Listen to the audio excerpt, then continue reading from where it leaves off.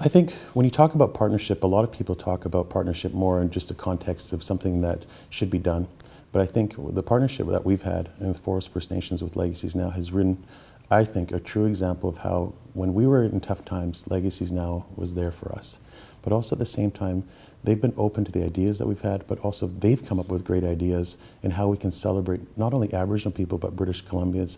And I think that will be a model that people will study for many generations to come because I think it's something when you talk about inclusivity, that is really important no matter which games you talk about, no matter what things happen in this province. I think we can always point to this and say, that's what's possible. And the 2010 Games is really that shining example.